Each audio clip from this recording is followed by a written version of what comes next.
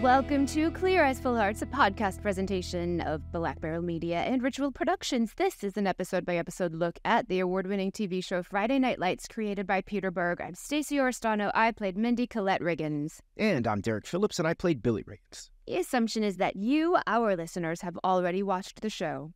But if you haven't already, go watch Friday Night Lights, which is currently streaming on Netflix and Peacock TV, because there will be spoilers in our podcast. If you want to support our show, subscribe for free to our new YouTube channel where you can access exclusive content. We have a YouTube handle that makes it easy to find us. That's youtube.com slash at Clear Eyes Full Hearts. Also, we are continuing to release new episodes of the podcast every other week. That's right. So join us as we recap all your favorite episodes and chat with amazing guests. And answer your questions. Email us what you want to know at Clear Eyes Full Hearts Pod at gmail.com. Today, we are talking about season five, episode seven, Perfect Record. It was written by Etan Frankel and Derek santos olson and directed by Adam Davidson. Here's our NBC synopsis. A website creates controversy for the Lions during rivalry week, and Vince gets caught in a power struggle between his father and Coach Taylor. We have the one and only Matt Lauria, aka Luke Cafferty, joining us today. But before we talk to Matt, let's recap this episode.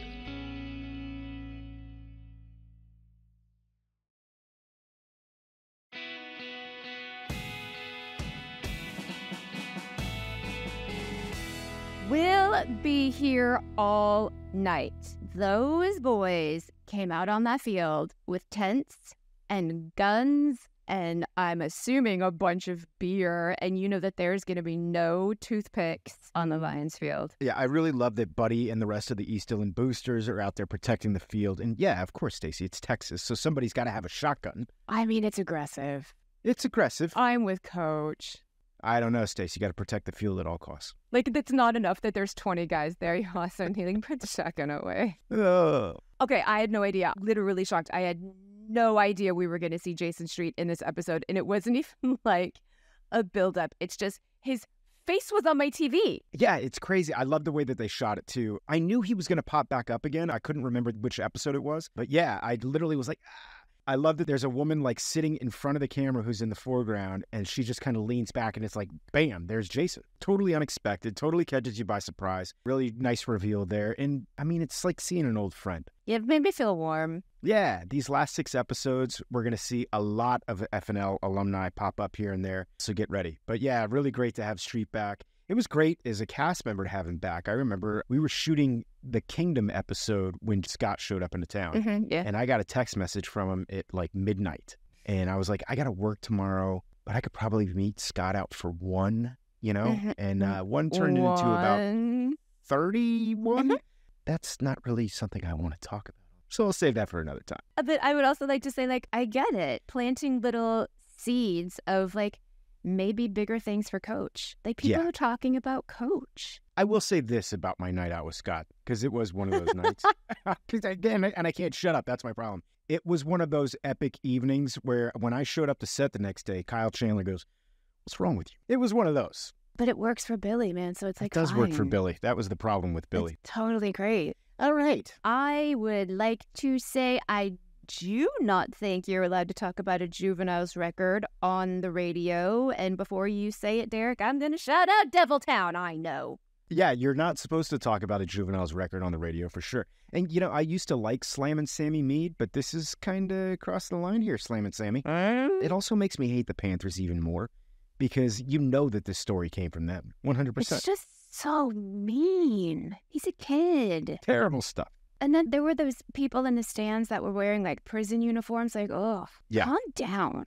Calm Yeah. down, Sullen. If you're going to be here in this house, is a line that Tammy says to Julie. And all I want to say is, why is she there in that house?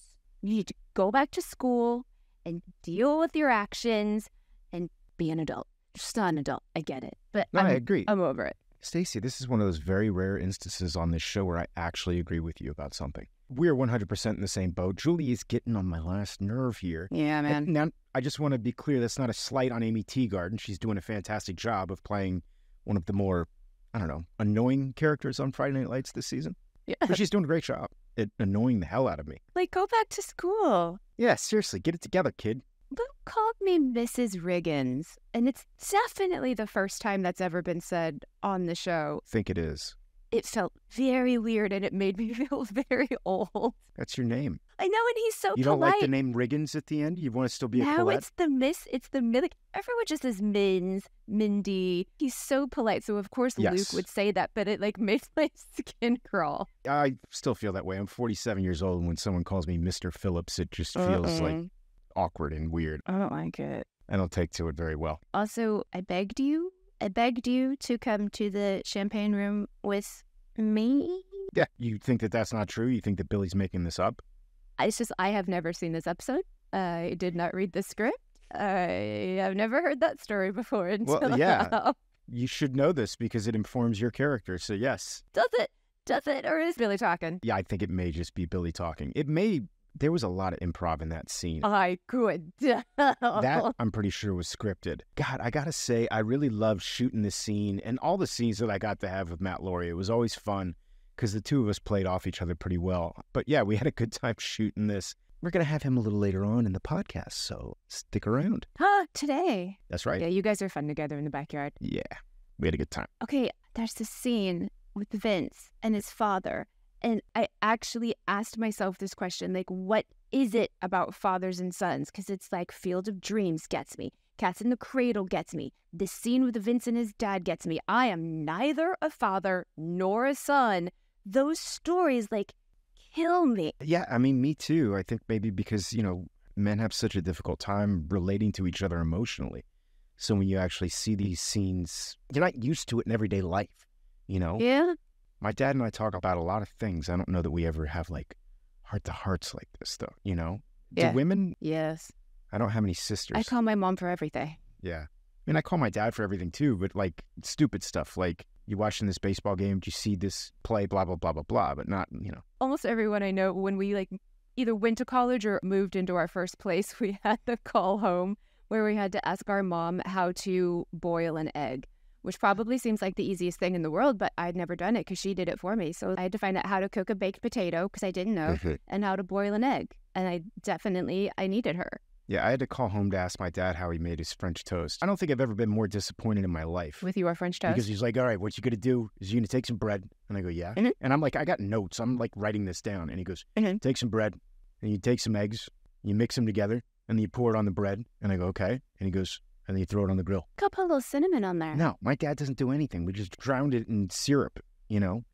That's why it was so good. It's the butter and syrup on top. That's Yeah, what makes it. But I thought that there was some special thing. I should have known that my dad, who's never really stepped foot in the kitchen except to make French toast, probably was not going to pull out some kind of Gordon Ramsay thing.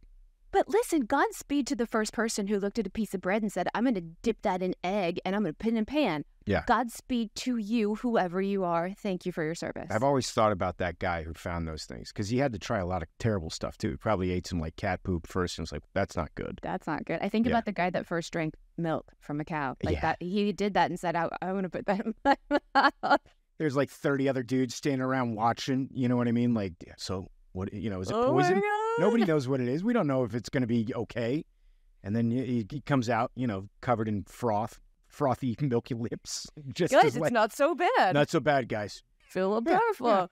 Speaking of drinking, Yes. Guys, new new drinking game on Friday Night Lights. Drink anytime our son Stevie Hannibal Riggins is crying. Nobody will survive. Yeah. I mean, in Stevie's defense, it was hot as hell out there. And like, I'm screaming the whole time. You are yelling in his ear. I'm screaming in his ear while it's hot as hell outside. and I'm like, I've never felt worse in a scene for like my scene partner. And my scene partner is this little baby, and they had to swap him and his brother out. And I just was Mhm. like, we got to hurry through this, guys, because I feel like I'm literally traumatizing these kids for life. Oh, we probably did. I'm probably going to have to call their mom and have a sit down and, make sure Those that are those like kids formative are okay. years that we had them, and we were, Yeah. oh God, We I feel destroyed bad. those poor children. Meanwhile, and another thing in that scene, Matt had to drink that gross, gross drink multiple times. So now, in, in all fairness, it was his concoction. He came up with it. It was like spinach and yogurt, which is fine, I guess. It's not Uh. something that's appetizing to me. But can you imagine having to drink a spinach yogurt drink in 105 degree heat? And he was really moving out there. Like he was really working out. It was disgusting. And I was just sitting there drinking my fake beer, going, "Wow, you're a trooper, man." Oh, okay. No, but I do have to say, when he was punching that, like when you got him to like really punch, I was seeing some future signs of Matty on Kingdom. he, like, right? really punches people. Yeah. Good. Oh, Uh-huh, yeah. Okay. uh-huh. You said it was coming. You Yeah. said it was coming. You warned me. Vince and Coach are going to have trouble now. Yeah. Vince's dad is in it, man. He's a man with a plan. He is, and things are about to get really nasty. I mean, they get nasty right here. But I just, I got to tell you, I love the way that Kyle and Cress play off of each other in this scene. It's literally like two bulls in a china shop. You're just sitting there, like on the edge of your seat. The tension is super, super thick. Two amazing actors just kind of going toe to toe there. They're like both writing the line without going over. And yes. it's like, oh, yeah. oh, God. oh, it's boy. just a lot of staring in each other's eyes, sizing each other up kind of thing, you know? Yeah. Bow, bow, bow. I would love to do a scene like that. Yeah. People don't look at me and think that she's scary. I don't get to have many like that, but man, they're fun when you get to. Eh, Oh, must be nice. Okay, I did not understand Tammy driving to Julie's college. I don't understand why Julie is not having to deal with the problems she made. Tammy has a full time job, a baby, and a husband, and she went and got like her schoolwork or something. I just, yeah. I don't like it. I'm right there with you as a fan of Tammy, but I do think on a strictly storytelling note, we got to have this really awkward, awesome scene between her and the TA. You know what I mean? Yeah, I get it. I get the setup. Yeah, the setup, I agree that I don't think Tammy would probably do that, you know, the Tammy that we know, but it does make for a really awkward, awkward scene. Yeah. You know, she does justify it a little bit with Coach, where it's like, look, this girl's laying around here, she's not doing anything. I'm going to make sure she's getting her schoolwork done at least. You know, I don't know. I don't love it. They're lenient parents. My parents would kick me out of that house Yeah. when the game started. Derek shaking his head at me now, you guys, because I'm about to say something and I'm going to be wrong, and I'm fine with it. Do not edit this out. I thought Street came out in a jersey, and then at the end of the game, he was in a polo. Street showed up to the East Dillon practice with his jersey on. But when we see him at the game, he's in a polo shirt. I made sure. And yeah, he's wearing the polo shirt the whole time. I promise. It really was weird to have him on the Panther side. It was really weird. I get it. He uh, Street is a he's right. He Yeah. wears blue. I get it, but it was so weird. You know what's weird? My little brother used to coach for a school called Gulliver. And I grew up in Miami, and our arch rival was Gulliver. And so my little brother coached for Gulliver, but I went to school at Westminster, and like Uh, that was our arch rival growing up. So it was really hard when Westminster would play Gulliver because my heart is saying root for Westminster, but my brother's a coach for Gulliver. that's hard. This game was nasty, and I'm a- fan of the nasty games. When he says that's not how we play, Yeah. you saw they were mad at you. Yeah, I love when Crowley turns to Billy and says, I am not talking. I am not talking to you. Because he at one point Crowley's saying to coach, like, you can't let these kids keep playing like this. They're Yeah, he said that's- celebrating after that's every it's, it's it's unsportsmanlike. And it's not Coach Taylor football. And so Crowley's basically calling him out, like, Coach, you got to do something. These kids are out of control. The whole team is out of control. And Billy's kind of egging it on and laughing and having a good time and encouraging the behavior. And Crowley, like, it was kind of crazy because we've said before, like, Tim Crowley's not an actor by trade. He's a Huh. professional referee. I'm going to tell you right now, though, when he turned around and said, I am not talking to you, it caught me. I mean, it was like 100% real. And you can see by the expression on my face, I had no clue he was going to react like that. And that's what they call, like, in acting, it's a kinesthetic response. It's not premeditated. I wasn't thinking that's how I was going to react. He turned and looked at me, and there was an anger in his eyes. And I was like, where did that come I from? loved that I love it. because it's not. Listen, that wasn't necessary for the No. storyline, but it was like insanely powerful. But it is necessary for the storyline because I think you're going to see. like you specifically. Yeah, I think you're going to see moving forward. There's kind of a little. It, it, it's not something that you know that we go into great detail about, but there is a little bit of a divide now between the coaches, and there becomes in later episodes. There's going to be a divide between some of the players on East Dillon and other players, and it's also this chasm that's kind of being created between Vince and Coach. Coach at the end of this game is pissed off because you know he still ends up 24 points with less than 20 seconds left, and Vince decides instead of taking a knee and ending the game to drop back and throw a 65 yard bomb and run up the score on a team that was already beaten. Mm-hmm. It's beyond unsportsmanlike. It's not cool. It's not a good look. And it's not Coach Taylor football. And Coach is rightfully pissed at the end of the game. And so is Crowley. Coach Crowley's pissed off at the end of the game. It's weird though to have that in the locker room after winning a game. Like Yeah. the coaches are right, but it's like, oh, there's no celebration. Yeah. Ew. I liked. I Great liked. episode. You know what, Stace? You know what time it is? What time is it? Matt Lauria time. It's at it time.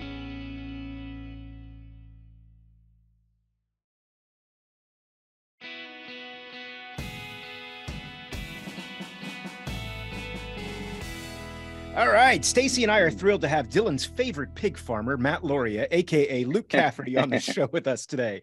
Matt has been seen in dozens of films and TV shows, including 30 Rock, Law and Order Criminal Intent, Lipstick Jungle, The Chicago Code, Burn Notice, Person of Interest, Gilded Lilies, Parenthood, Kingdom, Shaft, Dickinson, Tell Me a Story, Little Birds, Outer Range, 80 for Brady, the Oscar nominated film To Leslie, and he's currently one of the leads on CBS TV's rebooted CSI Vegas. Matt, thank you so much for taking the time to join us today, man. I appreciate it. There's nothing I would rather be doing right now, except for hearing my very first gigs ever, which were you you even you went you went so deep. You went to the Law and Order and the Thirty Rock. That was my I did a deep job ever. dive. Deep You dive, went deep, baby. man. Trader wasn't on here, and I legit watched you two nights ago on it, I didn't pick that one up. My bad. and bad. I loved it. You crushed it, Derek. That was amazing. You just made me feel fantastic. I'm like, yeah, I've been. I guess I've been doing something for the last 15 You've been doing years. something for a few You're for a few years here. Nothing that has gotten quite the response that Friday Night Lights continues to get.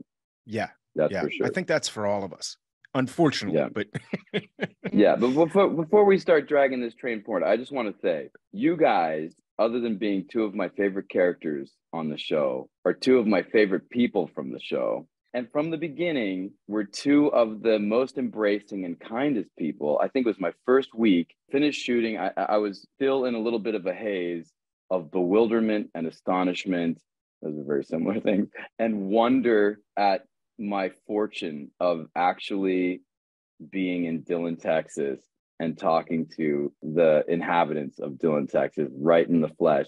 And you guys took me and showed me downtown Austin, Mhm. and we went to a bar, and you gave me the skinny on just about everything in town, and made me feel really welcome. And my big takeaway from that night was. Billy Riggins drives a BMW. Billy fancy. Billy was a little fancy in his Austin days. Dude, thank, you for you that. That- for I that. appreciate Of that. course. I wish That's you hadn't said this on our podcast because I do have a reputation to uphold as a jerk. So that kind of blows up my rep. I appreciate it. Of course, I wanted to ask you. So I was doing a little research. You were born in Virginia, correct? that's correct. As far as I can remember, Yeah. Mhm. I didn't know this, but did you live in Dublin? I did, man. I, I I grew didn't up. know this. I was born in Virginia, just outside of DC, Yeah. and I lived there until second grade, and then I moved to Dublin, Ireland. I was there all the way through elementary school and part of middle school until I moved to Orlando, Florida, for eighth grade. You Wow. lost the accent. I had a thick Dublin accent. Oh, Did you really? That would be so oh, absolutely. cute. Yeah, my sisters and I. It only took about six, seven, eight months before we had a substantial accent. And then within a year or so, there was no trace of Americanisms. Because at that age, those are such formative years, and at that age, you're such a sponge, Yeah. and you're learning so much for the first time. And so the things that we would learn, including spelling or pronunciation or whatever, was always in the Irish. You know, this was the Irish version of it. And then you're socializing. It's the 1st Mhm. time that you're choosing music that you like, that you're choosing the sort of people you want to be around, the activities you want to engage in. And so all of those things were over there in Ireland. And, you know, we weren't really as autonomous at those early ages in America. So yeah, we were thick Dublin accent, little little scrappy Dublin kid. Broke That's as- crazy, man. I love Broke as thin. I love it. I love it. So, dude, when did you know you wanted to be an actor? in Dublin, Ireland. So Really? my dad was yeah, my dad was an animator. Animators are if you took the sort of quirky, nerdy, fantastic imaginations of comic book nerds Mm-hmm. and you fuse them with actors, that sort of vibrance and curiosity and kind of sense of irony. They're actors with their hands. That was my take on animators. So we had the most colorful upbringing. My dad was an animator. So I wanted to be an animator and I also wanted to be an Olympic sprinter. These were my dreams. Until in Dublin, Ireland, the school required us to audition for the school play.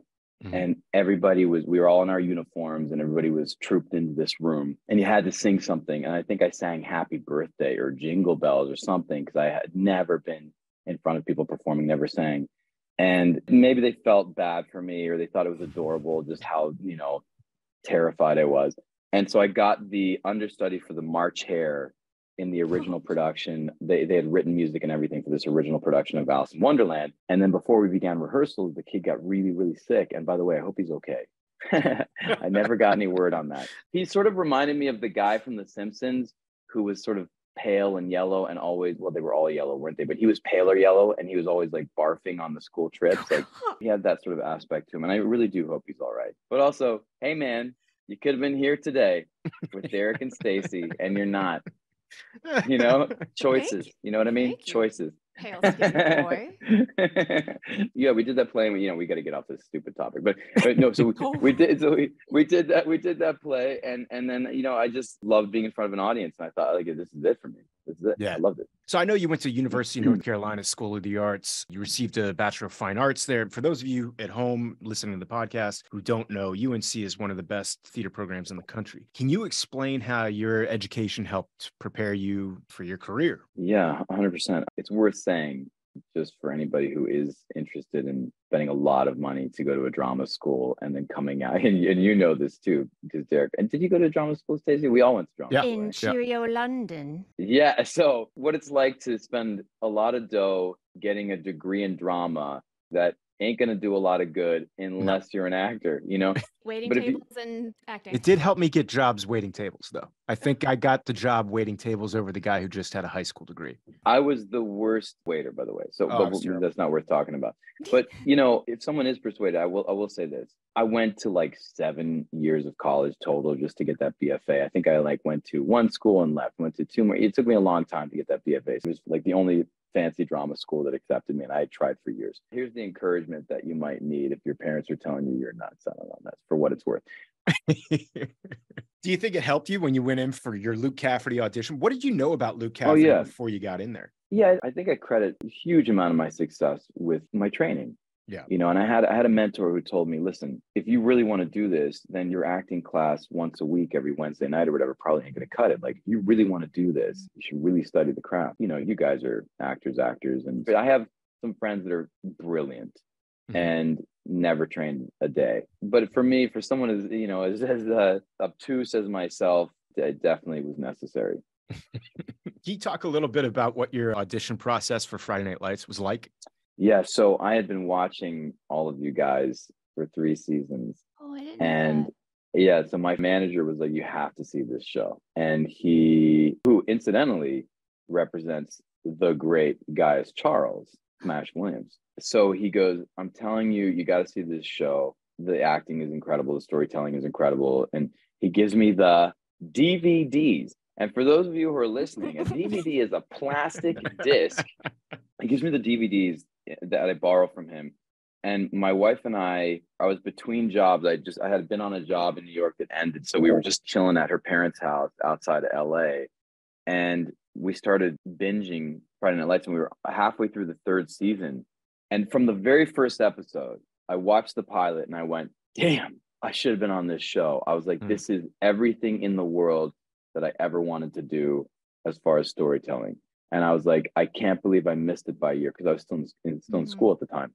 Yeah. And so I was like, damn, not in a vain way, like I should have been. No, I'm no, so no. amazing, but in a way that I'm like, this is everything I ever wanted to do. So it's rare though, too, as an actor, where you find one of those shows that you love and you're like, man, I would love to be a part of this. And then you actually get an opportunity to be a part of it. Like, I don't Dude, think I've ever had that happen. I can't fathom what Mind that feels like. But I'm getting chills just thinking about it, guys, because I thought the show was off the air because. I, I knew that there was some boopity boopity boo and things were jumping around. And then I've got these DVDs, which are when he gives them to me, pretty worn out, you know, because everybody's been borrowing them. So the box is all scuffed up, and I'm like, yeah, this is this is a show from a handful of years ago. Well, anyway, I'm watching it, and then I get this audition for the show, and I go, "You're jo- this can't be real." And I'm giving away something that I shouldn't hear, but who cares? I find out that it's still on, and I have this audition. And my manager, I said, I thought it was off the air. And he goes, No. And the audition came up, and my agents at the time, I guess, were like, Oh, Matt's like 26 years old, or he's going to be 26, like, or he's Oh, no. 25 at this point. Right? And they're like, He's not, you know, of course he can't play a high schooler. And my manager was like, No, they're all older than, you know, because he They're all in their forties. every one of those high school kids is 71 and so so they were like all right well we'll throw his hat in the ring and thank goodness he said that so my audition i went to linda lowy's casting one of the great great casting directors ever a true woman of the craft and i did my audition i just remember working on the material and going oh my god this is the most important thing i'll ever do and running it with my wife incessantly back in those days my wife would run auditions with me now she does Wow. it and that's better for our relationship Oh, really? so Oh yeah, you know, I was two years out of school. I was like one and a half years out of school, but now you know, a good fifteen years deep. She's like, absolutely not. Like you know, it's it's a too much. Uh, I've had you come over to my place and help me with an audition or two, and I've definitely helped you with one or two in, in the past. all right. Well, the, tr- the the true story there is there's been two pivotal moments where I have called on Derek, and they've delivered exceedingly. There's only been two times that I've really been like, yo, man, I, I need your help on this. And one was Kingdom, which was some of the most complicated material I'll ever do. That was a show that I did for DirecTV. And it's a very psychological character, a very sort of edgy, sort of very dangerous world, very unknown world to me. And I said, Hey, Derek, can we run over this? And he worked the audition for me and I got the job. It's a type of role I'd never played before and it opened a lot of doors for me. You crushed that gig, honestly. Thank that you, man. was really fun to watch the transformation that you made, especially just knowing who you are. I was explaining to Miranda, our producer, before you came on the show today. I'm like, he's like the nicest guy you're ever going to meet. Like, Mhm. ser- and I mean that wholeheartedly. and you were playing this, you know, badass MMA fighter on Kingdom, tatted up, you know, guy who Mm. kill you in the ring kind of thing. Dude, you just crushed it. And knowing who you Thank you. are, it was really fun to watch that transformation. Thank you, man. I'm gonna turn it back around. We're doing Parenthood. Hmm. Jason Katims asked me to do Parenthood. It was like a three episode thing, and the storyline just was working, and it kept going for a while. There's a pivotal moment early in all this where I'm sort of I talking about, this. Yeah. and I called Derek and I go, I've done all my work, I've done the research, I talked to a bunch of soldiers, you know, really sussed out a lot of stuff. But now I need to really work this emotional piece here, that this like background, like family trauma stuff and all this stuff. There's just stuff that I had to kind of work on. And I go, hey man, can I just call you? Can we Yeah, just, we just had a talk in call, right? character? Like yeah, I was like, I want to talk. This is like weirdo actor stuff. Can we talk in character? Like you be my brother. Here's kind of some of the parameters. Like you know, give me a little bit of this and that, whatever. And Derek's like, yeah, sure. He's he's oh, totally game. And we sat there before I'm about to do this big emotional scene, and he and I must have talked for 45 minutes in character as my was older it brother, right? It was was right before you were gonna go shoot it. on the day. It was like oh, on the day before. Yeah, he did that. The last two He's jobs an I booked, artist. Derek read with me. I'm really not hours. He's the liking this interview today because it's it's you're blowing up my spot, man. I've got Yeah. a reputation to uphold as a tough jerk, and you guys yeah, are killing it's me. Not, it's not working.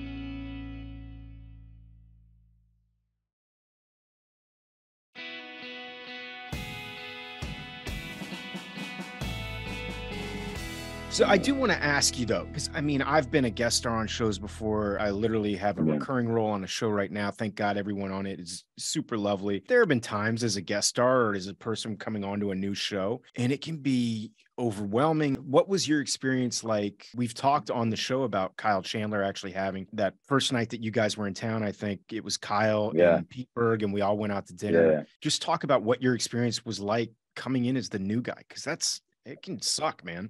I've been there. Ah, I mean, look, I had such deep admiration for all of you guys. This, you know, indescribable reverence Mhm. for the show. This job was so special. The work, the storytelling, every bit of the show, you know, visually, musically, like every bit of it resonated so deeply with me. All right, so I go and I audition for Linda Lowy. I get a call back. She gave me some notes. I kind of went in with an accent already. Everything about my involvement on the show, I can only describe it as like from the minute I got the audition, I had this fever for the show. I felt the weight and the importance of the moment.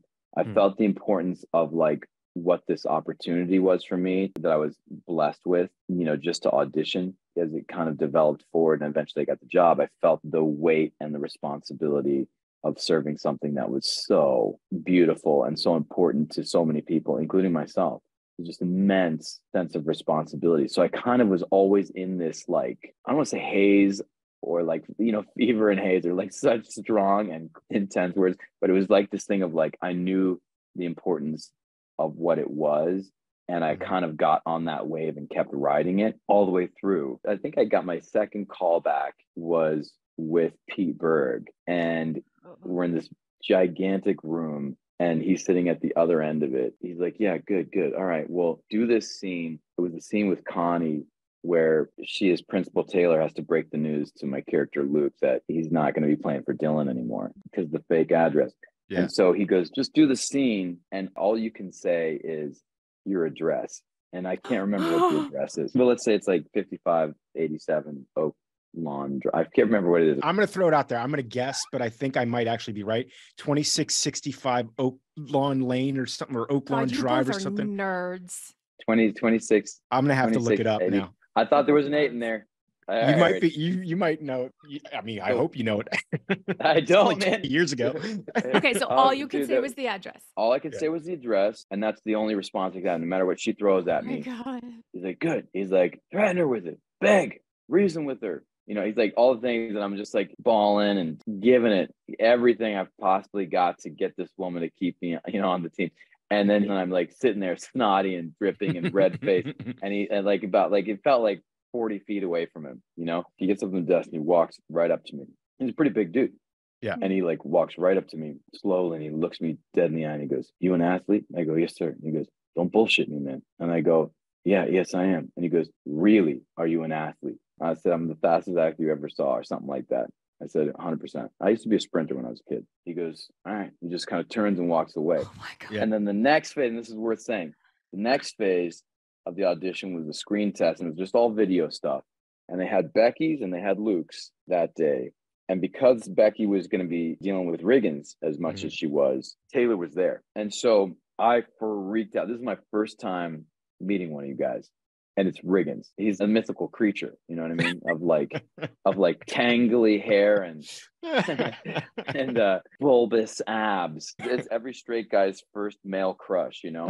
And um and so he was in there and he just stayed in there. And I walked in, I was like, oh my God, what's up, dude? I just go right to him, shook his hand, and he's like, hey man. And then they had me improv with him. It was a blast. And I left that audition. I called my manager and I said, I was near tears. I said, listen, man, I don't even care if I get the job. I did care. I said, Yeah. if I get the job, it's icing on the cake. But to have been able to be in the room with people, Katims, Pete, and then Taylor, to be in the room with the people that made this amazing thing, just a small part of it, to feel like I was able to go into that room, it meant so much to me to have been given a little bit of like, you know, like, hey, man, nice work from people that I Well, like, admired you so played much. at their level. I had that same vibe when I got done with my audition for Friday Night Lights. A lot of times you leave and you're going, I don't know. And I was like, dude, that was fun, man. How often can you say you had an audition that was fun, that you enjoyed? That, like, I mean, uh, Yeah. just because it, there was so much play in the room, it was like you do the Yeah. scene, but then you're going to do it a couple of times, and then you're going to do it angry, you're going to do it sad, you're going to do Yeah. it, you know, as you said, Pete's going to have you do it five or six different ways. And after it was Yeah. done, I had like this, I felt fulfilled artistically. That's it- Yeah. it. It was Oh. artistically fulfilling. And for someone who is such a great admirer of what Friday Night Lights was, for me to be able to play in the game with them, it's Yeah. like it's like playing a pickup game with your heroes, and you're just like, yeah. I was in there and I threw the layup to Michael Jordan and he dunked it, and I, you know, that was pretty cool. And you did, man. I mean, you did throughout the whole entire time on the show. I loved the your three of storyline. you, you, Michael B. Jordan, came in guns a blazing, and I was like, Yeah, they've you been here the whole time. Well, that It first was scene, almost annoying. your first big Yeah. scene with you and Connie, the one that we were just talking about that you auditioned with. I mean, you broke down in that scene. You're crying on the side of the field when she's telling you that you're no longer going to be on the team. Mhm. It was also beautifully shot. It's one of these things that Stacey and I talk Mhm. about all the time on this show. Mhm. And that was one that I'm sure you guys didn't plan. I don't think that they planned on there being rain that day. There just was, and it just kind of No. worked. It was the first time I was putting on football gear, and I'm in my trailer Oh, trying yeah. to figure. I never played football. I was trying to figure Yeah. out where's this thing going, and I was like, and they're like, "We need you now," and I was like, "I thought we," they're like, "We got to go now," and I was like, "Oh," because they were trying to beat the rain. Yeah. And then I was like, oh, uh, uh, I'm like running out the door, like trying to get my helmet on my head. I did that thing where like you're not used to wearing a helmet and you like start walking into stuff and hitting door frames and stuff. Like Yep. you're like, oh, you know, and then I just like literally shot out of a cannon, throw me out there, and it's starting to rain, and that was that, you know. So the, you had brought up the dinner with Kyle. Like I said, I wanted so desperately to serve the show. I felt Yeah. such Yeah. a burden of responsibility to not mess it up. I think we all did though. I'll be honest with you. I feel like there was that pressure anytime I had a scene, anytime Stacey had a scene. Not so much that you were like scared, but this, hey man, I've got this wonderful opportunity. I just want to hit this out of the park. I remember talking to Michael B. Jordan. We were both staying at the Marriott Residence Inn in downtown Austin, like off of Fourth Street or something. Yeah. And uh, they had us there for the first, like, I don't know, five episodes or something. It felt like a probationary period, which adds even more stress. Oh wow, I didn't know. they were like, we had been hired as like, you know, main cast, but you're going to do five episodes before we pick up your option. oh wow. And, you know, it's kind of like this thing of like, you're under review is what it felt like. Yeah. And that, so that was very stressful. But anyways, we're just doing our thing. The first day that Mike gets to shoot, there's a lot of like fittings and all the different things you do. And the first day that Mike shot before me and he does the scene where he's like running down an alley and we first see Vince and he's, you know, getting in trouble with the law or whatever it is. And that was his first day. Pretty high octane. I was stuff, on you know? set that day too because right around the corner is where we shot Riggins Riggs. I was watching him run down that alleyway and I was like, oh, this Dude. guy's good. This guy's good. It- it- and, Mi- and for you guys who don't know, Mike is fast, man. That guy Yeah, is fast. he is fast. he comes back to the hotel and he's like just exploding, you know? And I'm like, what was it like? What happened? Tell me everything. Blah, blah, blah. Did you improvise? He goes, yeah, yeah. There was we, we like improvised. Like, well, tell me, what do you mean you improvised? Like what? And he goes, I don't know. You and, and I was like trying to get like, what's the vibe? Do we play? What do we do? Like, you don't know anything. Yeah. And I'm calling every acting teacher I ever had, being like, uh, I don't know what I'm doing. I'm so scared. You know, I, don't, I had so many pep talks that first week and throughout, honestly. The fact that they had to call you to set to try and beat the rain and you didn't have time to get in your head too much. it's Oh, just God, like so Yeah, yeah, you just kind of have to get thrown into the deep end. Because I know for me personally, as an actor, sometimes too much preparation can be death because Yeah, you think too much about it, and then Yeah. you get there on the day and it's just not fresh anymore. You know, Yeah, you- absolutely. you've overthought it. What would you say your favorite storyline on the show was For my character, for any character. for your you. character? Oh, I mean, you had some good ones. I mean, all your stuff with Becky was great. The Yeah. abortion one was obviously it's Yeah, you know, I thi- practical and timely. that's a really special one. Yeah. You know, I've said this before, but I'll say it till the cows come home. I had the great opportunity to attend like a gala. There's a thing called Television with a Conscience. It's this organization where they commend creatives or even, you know, talk shows, reality shows, anything that delves into something that, you know, I don't want to get it wrong what their mission is, but it says it all in the title Television with a Conscience. And there was a lot of shows there that night that had done something so important to sort of move the culture forward and to educate and to maybe uplift. Anyway, Jason Katims, the showrunner for Friday Night Lights and Parenthood, was being acknowledged twice that evening for work that he'd done. One was a storyline on Parenthood, and then the abortion storyline on Friday Night Lights, because they had dealt with such a common Mm. and very challenging situation in such a nuanced and honest and complicated way with that Yeah. abortion storyline. So I feel very proud to have been a part of something. I mean, look, you know, regardless of your personal or spiritual or political views, this is a thing that happens to kids all the time. Yeah. The highlight of the story really isn't about, the, I don't think, the decision that Becky No. makes as much as seeing two kids in a really tough situation that they're in over their heads and trying to navigate something that they don't have the life experience or maturity you know they're just barely hanging on you know and that was a very tricky and obviously it was played so beautifully by Dora Madison. And she did such a beautiful job on that. And actually I remember some of the pivotal moments were directed by fantastic director Allison Yeah. Brown. Yeah, she's Um, oh, Allison. yeah she's phenomenal anyways yeah that was a pretty special storyline I would say Stacey and I, in talking about that storyline, it's like I don't want to offend anybody. That's not my objective on this show. But I do feel like me personally, I'm kind of like tiptoeing around even talking about the storyline. But I think that's what Friday Night Lights does so well is it humanizes the situation. I mean, you Mhm. pretty much nailed it in the way you were describing it. It puts a face to this issue Mhm. and it just presents the story. Doesn't tell you what to Mm-hmm. believe. Doesn't tell you how to Yeah, it doesn't push an agenda. It's the, Yeah, it's not what pushing an agenda. It's not anyone getting on a soapbox. It's just saying, hey, this is Yeah. something that happens. It happens on a regular basis in the United Yeah. States and, in, and across the world. Yeah. And this is just the story of these two kids going through it and their families going through it. Maybe even worth saying, hey, we say- calling it the abortion storyline. They should be calling it the teen pregnancy storyline. Yeah. There is an outcome, obviously, but it's more about two kids in a tough situation. And Mhm. there's no bow wrapped around it. Regardless of what Yeah. decision is made at the end of the day, Mhm. it's never Mhm. easy, I don't think. I want to tell a couple stories about Dora. Go for it. Uh, so Madison, Dora, Becky, literally had just enrolled in college. She was a real deal teenager yeah.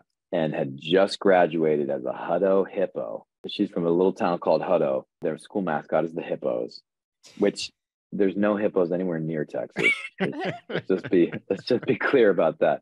So she graduated from high school, I don't think got so. this gig, and when you first start working on a television show, especially a network show, you guys know there's you know table reads where you read through the scripts with the mucky mucks. There's fittings, there's dinners with your bosses. There's you know there's all these things you do at the very beginning, and one of those things is the sexual harassment seminar Yeah, I was about to say, yeah. Yep. There's HR meetings. The HR means make sure that, you know, because you're still working for a big corporation, make sure that everybody's, you know, maintaining a work environment that is comfortable for everybody and is respectful. So I'm driving her to this harassment meeting. She was she was like my little sister, honestly, in, in real life. Like we had this beautiful thing, romantic thing on screen, but she knew my wife. She was so much younger than us. And so she was like a little sister to me. I'm driving her to this thing, and at some point I realized that she's still enrolled in school. And I'm like, you know, you gotta withdraw. And she's like, Yeah. And I go, There's a point where if you go past that point, you can't withdraw from that semester and you're going to be in it to the teeth for those classes. And she's like, Really? And I'm like, Yeah, you, you got to do that like yesterday. um, but she was just brand spanking new. And uh, she's just a beautiful person. Yeah. We loved working with her. Where do you think Yeah. Luke and Becky are now? Boy, I can tell you this. I know at least for a good 10 years following going separate ways at the end of the series, I would say for at least 10 years, she was it. I mean, I, I can't imagine a small town, her not being it for Luke and him not always trying to knock on that door. It's funny. I walked into a store. Shout out to Snake Oil Provisions in Highland Park, who they they're big Friday Night Lights fans, and, and and this is one of those funny symbiotic moments where I walk in the store and they're like, "We just finished watching Friday Night Lights again last night," and I go, "Do you think I made the catch?" And he goes, "Of course you made the catch." and then they started like going off, and I, I hadn't thought about this in a while. They started going off about, "Man, Luke got done so dirty, man. This guy was a real prospect." He didn't get any college looks. Like, you know, it was like they, they couldn't believe it. They're like, what world is that possible? They were so upset for Luke Yeah. that Luke never made it to a D1 school and ended up, you know, and look, that was obviously his mission was to go to the military. I think Luke never stopped holding the flame for Becky. And I think Luke probably ends up living in town and coaching and trying to do the right thing, always Oh, trying I to do the right see thing. Luke being the Yeah, next Coach see. Taylor. I can see that. All right, man. I'm going to close out the interview Big just by shoes to fill. asking you what your favorite memory on set or your time on Friday Night Lights was. Just your your favorite. And I am just going to shoot out that maybe you remember Yumi and Jesse would go over to my mom Dana's house and play music all night. So that's a thing that Hoot- happened. Hoot nannies. That is the thing, I think. That is the thing. The people were amazing. From you guys taking me out to like Buddy Garrity. Brad is He's just a in- character. Brad is Buddy Garrity is Brad is Buddy Garrity. I remember Brad was like staying in the same hotel as me right at the very beginning, and I'm going in there trying to like somehow in in a handful of weeks put on some muscle, you know, in the in the ho- in the hotel like gym, and Brad's there on the elliptical, just sort of unapologetically, unabashedly, you know, one of the most adored characters on Friday Night Lights, and he's like businessman and all sorts of people in there working out and he's on the elliptical, you know, loud as can be, just like, oh, here he comes. Here's one of the new characters right there, Luke Cafferty. he's, he's from Friday Night, and he's just, he's just. Oh, like this is on one of the new guys on the show. He, you're gonna love him, man. He does all these things. He's That's so good. He's gonna, So he's good, gonna be dating this girl named Becky. He's gonna have a fake address. Oh, it's gonna be spectacular, man. dude. I can imagine just absolutely sweating profusely on the elliptical. Oh man, So- I love me some so- Brad Leland. you know, but that that's the thing. You guys taking me out, Brad right there in the thing. First person I met on set, I think was Jesse Plemons, just about fell through the floor. I was like, I can't believe I'm talking to Landry, and I'm like, dude, you are amazing in this show. I mean, I was just like aghast, you know. And to your point about the hootenannies over at Dana's house, wonderful woman. That was what the experience was. You were mm-hmm. never not in it. First of all, I was walking around. I was so in it because I was just, I just could not let it down. I could not like let the show down. I had my Texas accent 24 7 because I'm trying to like make sure I don't slip up when we're improvising. I bought myself a pair of shit kickers. I bought myself another pair. I, you know, I was wearing like bootcut jeans all day, every day, and pearl snap shirts, even in the summertime. Like, That's never so wore funny. shorts I just the whole thought time. that was you. no, Yeah. that was no. you living in it. Look, I knew there was a lot of improvising, and I just couldn't let it down. I just couldn't disappoint the show, you know. But that was what was the best part about it. Like Dillon, make no mistake, was a real community. Yeah. Yeah. Dillon, Texas, this fantastical place, was a real community. And it was from Taylor Kitsch the first time I was on set with him being like, Hey, take my number. We'll go get a cheese wheel or whatever. Like, or him being like, Grease "Here's-" wheel.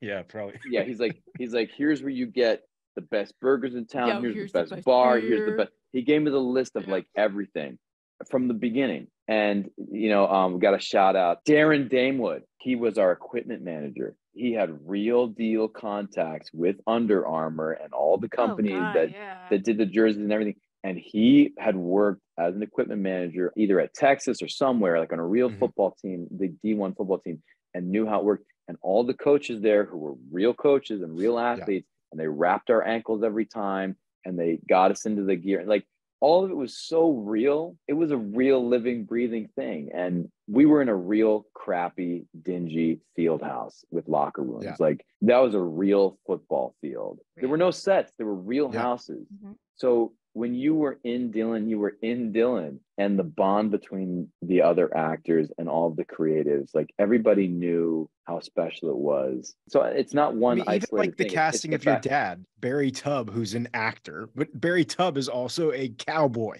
Yeah. Goodness me, Like he's yeah, a as we call him, cowboy. inappropriate Barry, inappropriate Barry. we call but but yeah, I mean the kind of things of like we're going to Hootenanny at Dana's house, we're all playing music together. Jesse's plucking away, we're all singing harmonies, going to TCs and listening to music together. It was just like it was living in that community together, and it was beautiful. Yeah, Oh my like, God, you're uh, making me super miss it right now. yeah, super Yep. miss it, man. I'm right there with you. Oh man, well, dude, thank you so much for taking the time. What an honor, the show today. You I guys. really appreciate it, bud. I know how busy you are. I know you're working nonstop. Please give Michelle a big hug from all of us. I miss Michelle.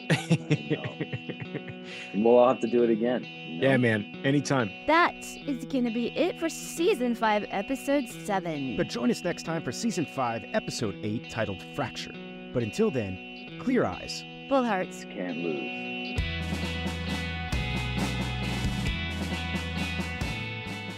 Clear Eyes Full Hearts is a podcast presentation of Black Barrel Media and Ritual Productions. Executive producers are Stacey Oristano and Derek Phillips, Chris and Mindy Wimmer for Black Barrel Media, and Steve Walters for Ritual Productions. Our producer is Miranda Parham. Send your questions to cleareyesfullheartspod at gmail.com. And follow us on social media. I'm on Instagram at Stacey Oristano. And I'm also on Instagram at underscore Derek Phillips. Check us out on YouTube and blackbarrelmedia.com. Thanks so much for listening, and we'll see you next time.